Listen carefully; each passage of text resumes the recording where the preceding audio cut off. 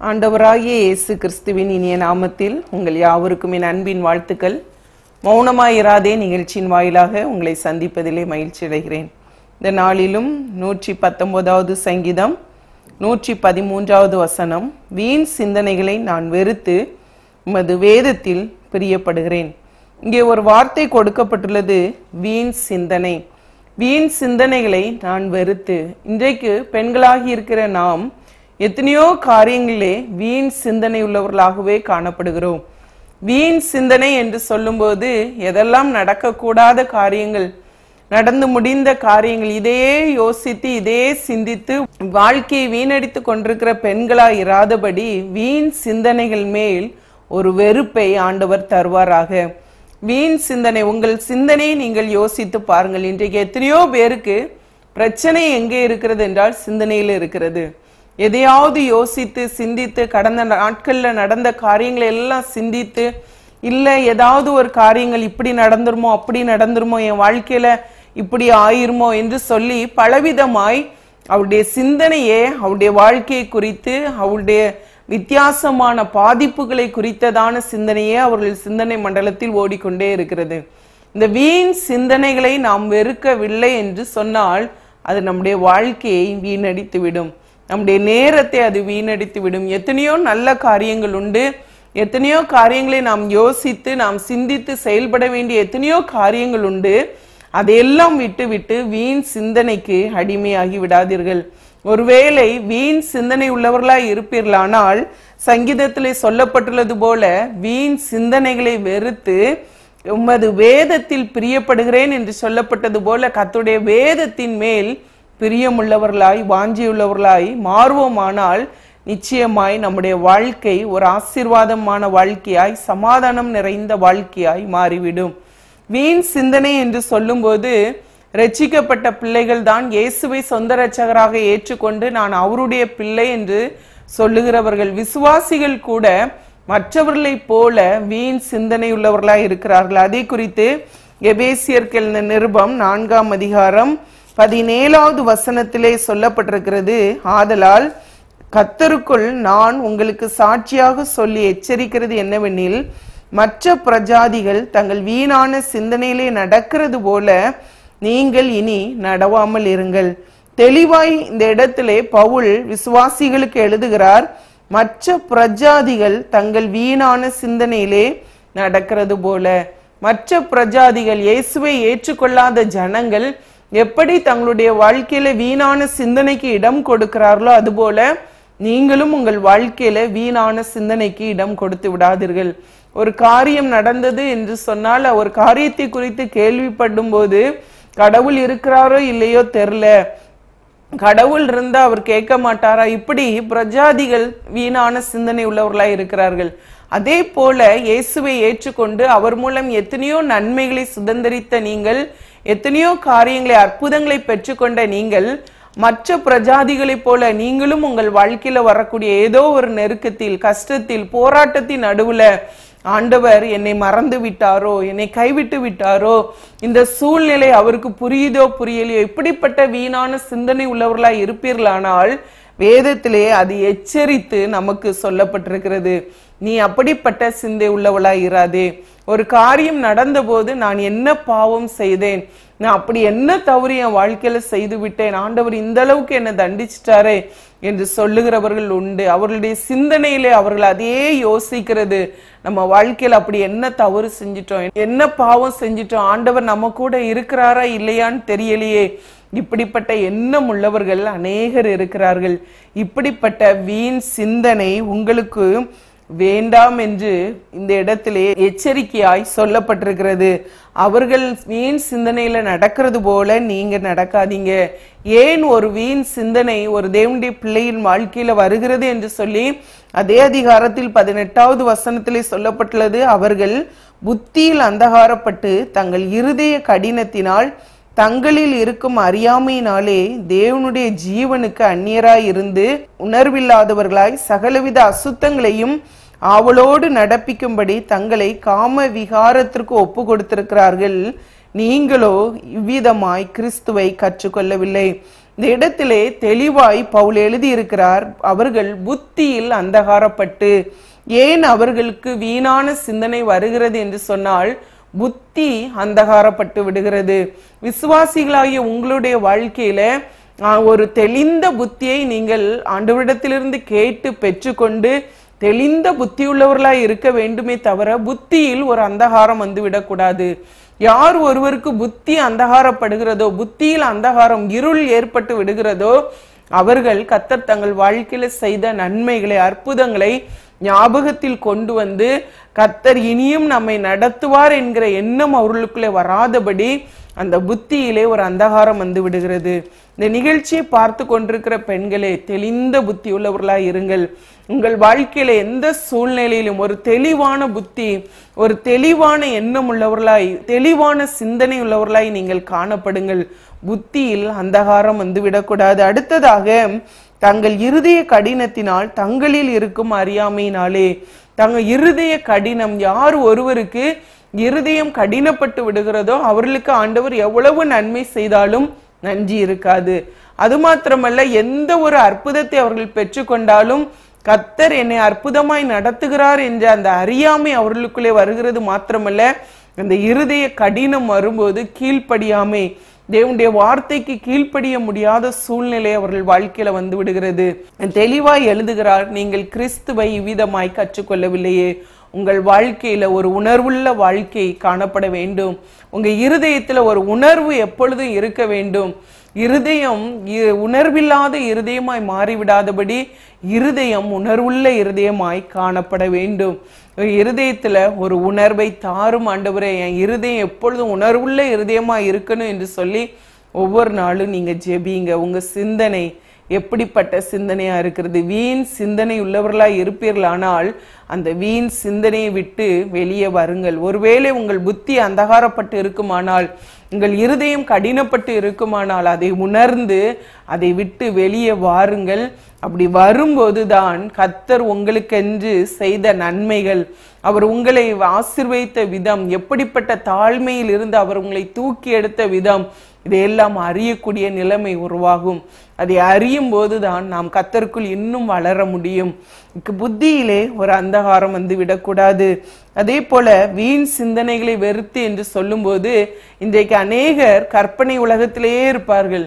அவங்க தங்களுடைய குடும்பத்தின் சூழ்நிலை அவருடைய கணவருடைய வருமானம் பிள்ளைகளுடைய நிலைமை எல்லாம் விட்டுவிட்டு தங்களிலும் மேன்மையுள்ளவர்களா எண்ணிக்கொண்டு ஞானவான்களா எண்ணிக்கொண்டு எதை செய்தாலும் நான் கரெக்டா செய்கிறேன் எதை பேசினாலும் நான் சரியா தான் பேசுறேன்.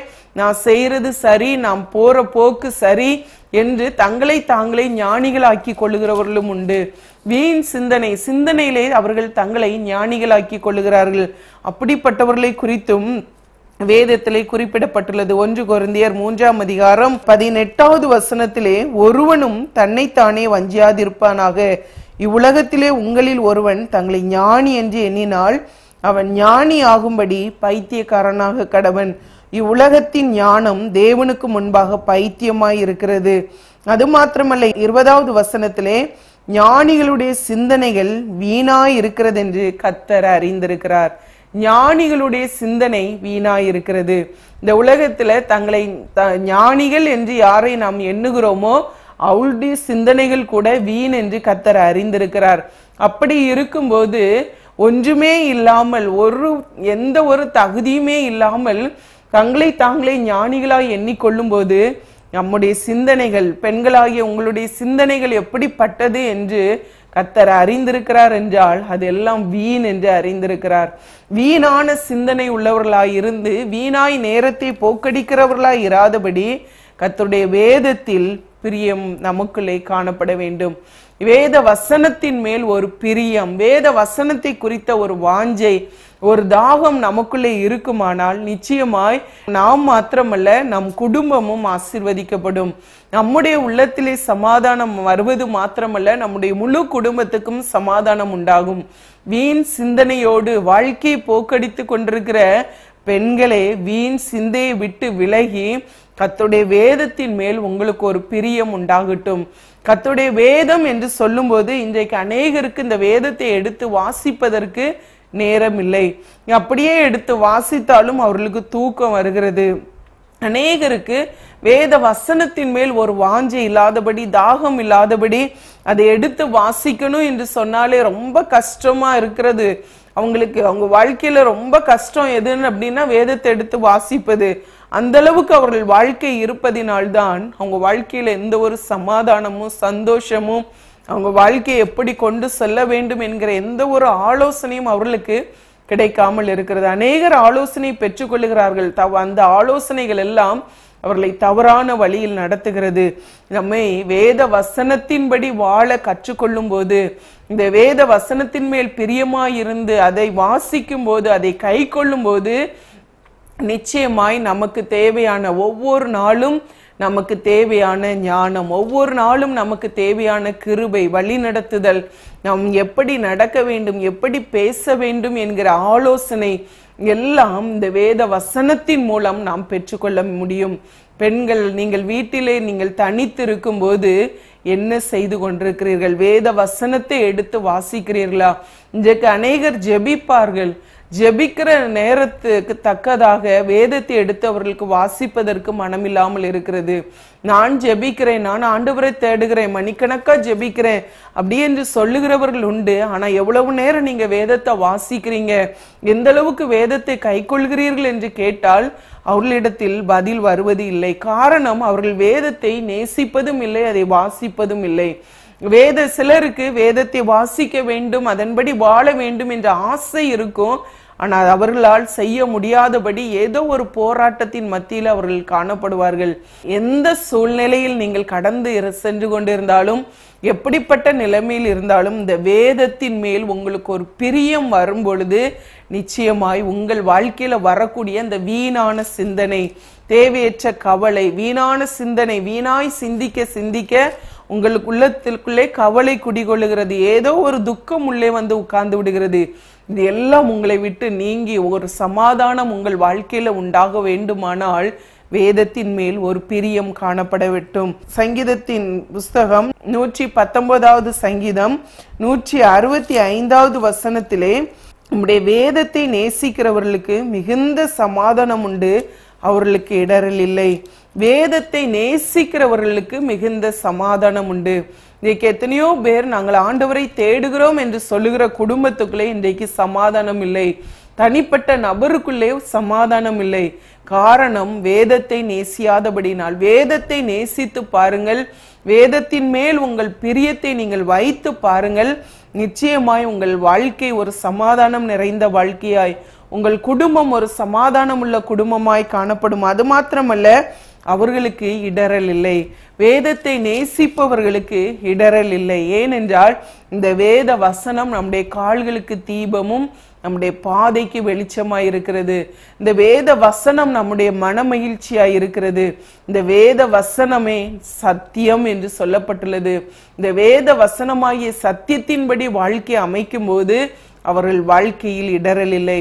சங்கீதம் ஒன்றாவது சங்கீதத்திலே நாம் வாசிக்கிறோம் கத்துடைய வேதத்தில் பிரியமாயிருந்து இரவும் பகலும் அவருடைய வேதத்தை தியானிக்கிற மனுஷன் பாக்கியவான் அவன் செய்வதெல்லாம் வாய்க்கும். யார் செய்வது வாய்க்கும்? கத்துடைய வேதத்தின் மேல் யார் ஒருவருக்கு பிரியம் இருக்கிறதோ அவர்கள் பாக்கியவான்களாய் பாக்கியவதிகளாய் இருப்பது மாத்திரமல்ல அவர்கள் செய்வதெல்லாம் வாய்க்கும். இந்த நிகழ்ச்சியை பார்த்து கொண்டிருக்கிற பெண்களை எத்தனையோ நேரங்களில் என் காரியம் வாய்ப்பதில்லை. நான் எதை செய்தாலும் என் காரியம் வாய்ப்பதில்லை. எந்த ஒரு காரியத்தை செய்யணும்னு நான் முடிவெடுத்தாலும் அது செய்ய முடிவதில்லை. என் காரியம் வாய்க்காமல் தோல்வியிலே என் வாழ்க்கை போய்கொண்டிருக்கிறது தோல்வியின் மனப்பான்மையில் நீங்கள் இருக்கிறீர்களா? வேதத்தின் மேல் ஒரு பிரியம் உங்களுக்கு உண்டாகட்டும். இந்த வேத வசனத்தை நீங்கள் தியானிக்க ஆரம்பிங்கள். இந்த வேத வசனத்தின்படி உங்கள் வாழ்க்கையை அமைத்து பாருங்கள். நிச்சயமாய் உங்கள் நீங்கள் செய்வது எல்லாம் வாய்க்கும். நீங்கள் ஒரு பாக்கியவதிகளாய் இருப்பீர்கள். இந்த உலகத்திலே யார் பாக்கியவதி? இந்த வேதத்தின் மேல் பிரியம் உள்ளவர்கள் பாக்கியவதி. பாக்கியவதியாய் நீங்கள் வாழ வேண்டுமானால் அநேகர் நீ ஒரு புண்ணியவாட்டி என்ன புண்ணியம் பண்ணான்னு தெரில ஓ நீ என்ன செய்தாலும் உனக்கு வாய்க்கு என்ன காரியத்தை நீ முடிவெடுத்தாலும் உனக்கு நடக்குது என்று சொல்ல வேண்டுமா? வேதத்தின் மேல் ஒரு பிரியம் உண்டாகட்டும். இந்த வேதத்தை நேசிப்பவர்களுக்கு இடரல் இல்லை. இந்த வேதத்தை நேசிப்பவர்களுக்கு சமாதானம் உண்டு. இந்த வேதத்தின்படி வாழும்போது இந்த வேதத்தை நேசிப்பவர்களுக்கு அவருடைய காரியங்கள் வாய்க்கும்படி கத்தர் செய்கிறார். அது மாத்திரமல்ல அதே ச- அதிகாரம் தொண்ணூத்தி இரண்டாவது வசனத்தில் சொல்லும்போது உமது வேதம் என் மனமகிழ்ச்சியாய் இராதிருந்தால் என் துக்கத்திலே அமிழ்ந்து போயிருப்பேன் என்று சங்கீதக்காரன் சொல்கிறார் இந்த வேதம் மாத்திரம் நமக்கு மனமகிழ்ச்சியாய் இராதிருந்தால் எப்பொழுதோ துக்கத்திலே அமிழ்ந்து போயிருப்போம். காரணம் எப்பொழுதெல்லாம் நம்முடைய மனது வேதனைப்படுகிறதோ எப்போதெல்லாம் ஆறுதலற்ற நிலைமையில் இருந்தோமோ அப்போதெல்லாம் இந்த வேதத்தை எடுத்து வாசிக்கும் போது உண்மையாகவே அது நம்முடைய உள்ளத்துக்கு ஆறுதலாய் மாறுகிறது. எப்பொழுதெல்லாம் அந்த வேதத்தை எடுத்து நம்ம வாசிக்கிறோமோ அப்போது நம்முடைய வாழ்க்கையில் இருக்கிற கேள்விகளுக்கு பதில் உண்டாகிறது. எப்போதெல்லாம் வேதத்தை எடுத்து நாம் வாசிக்கிறோமோ அப்போதெல்லாம் நம்முடைய உள்ளத்திலே ஒரு ஆறுதல் நான் ஒரு நம்பிக்கையை இந்த வேத வசனம் நமக்கு கொடுக்கிறது. நம்பிக்கையற்ற சூழ்நிலையில் இருக்கும்போது ஒரு நம்பிக்கையை நமக்கு தருகிறது.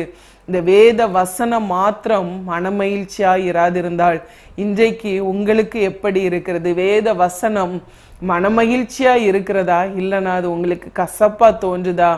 ஏதோ நம்ம வாசிக்க வேண்டுமே என்று சொல்லி கடமைக்காக வாசிக்கிறீர்களா? உண்மையாய் நேசித்து வாசிக்கிறீர்களா? உங்களை நீங்களே கொஞ்சம் ஆராய்ந்து பாருங்கள். ஒருவேளை வேத வசனத்தின் மேல் ஒரு வாஞ்சை இல்லாதபடி ஒரு பிரியம் இல்லாதபடி இதுவரைக்கும் வாழ்ந்திருப்பீர்களானால் இந்த நாளிலே ஒரு முடிவெடுங்கள். இந்த நிகழ்ச்சியை கேட்டுக்கொண்டிருக்கிற இந்த நேரத்துல ஒரு முடிவெடுங்க இந்த வேத வசனத்தை நான் நேசிப்பேன். இந்த வேத வசனத்தை நான் ஒவ்வொரு நாளும் வாசிப்பேன். இதில் சொல்லப்பட்டிருக்கிற ஆலோசனையின்படி என் வாழ்க்கையை அமைப்பேன் என்று சொல்லி முடிவெடுத்து பாருங்கள். நிச்சயமாய் உங்கள் வாழ்க்கை ஒரு சமாதானம் நிறைந்த வாழ்க்கையாய் ஒரு சந்தோஷம் நிறைந்த வாழ்க்கையாய் மாறிவிடும். ஒருவேளை வீண் சிந்தனைகளுக்கு இடம் கொடுத்து காலத்தை போக்கியிருப்பீர்களானால் வீண் சிந்தனைக்கு இனி இடம் கொடுக்க மாட்டேன். எந்த ஒரு காரியத்தை நீங்கள் நினைப்பது போல நடப்பது இல்லை. நீங்கள் சிந்திப்பது போல எந்த ஒரு காரியமும் நடந்து விடுவதில்லை. வேத வசனத்தின்படி நம்முடைய வாழ்க்கையில எது நடந்தாலும் நன்மைக்கே. அஞ்சியும் அவருடைய தீர்மானத்தின்படி அழைக்கப்பட்டவர்களுக்கு சகலமும் நன்மைக்கு ஏதுவாகவே நடக்கிறது. ஆண்டவருக்கு பிரியமாய் அவருடைய வேதத்தின் மேல் பிரியமுள்ளவர்களாய் நீங்கள் இருப்பீர்களானால் உங்கள் வாழ்க்கையில நடப்பது எல்லாம் சகலமும் நன்மைக்கு ஏதுவாகவே இருக்கும்.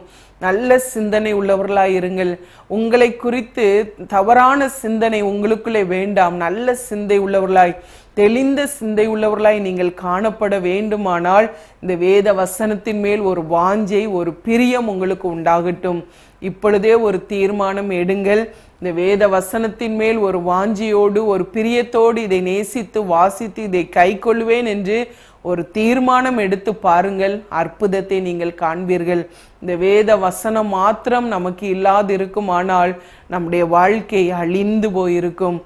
ஏனென்றால் இது ஒரு கண்ணாடி. நம்முடைய வாழ்க்கையை எடுத்து காட்டுகிற ஒரு கண்ணாடி.